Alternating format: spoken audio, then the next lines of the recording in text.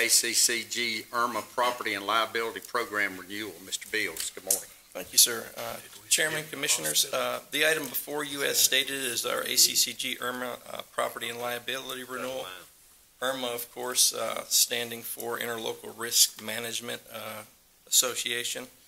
Uh, At this year's renewal, there are two options, but in this uh, renewal process, we are receiving uh, safety credits of 44000 as well as dividend credit- credits of 92000 There are two options presented by the ACCG this year.